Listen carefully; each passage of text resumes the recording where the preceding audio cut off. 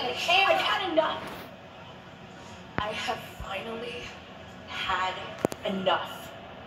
Ever since I came to SmackDown, I've lost title opportunities. I lost my tag partner. I've lost the support of the WWE Universe. And last week, thanks to Sasha Banks, I lost the biggest match of my entire career. I'm not going to smile and pretend everything's okay anymore.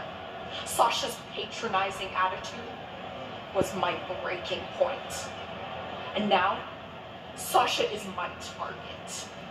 I am going to run over Sasha Banks and anyone else that gets in my way. And I don't need a tank Wow.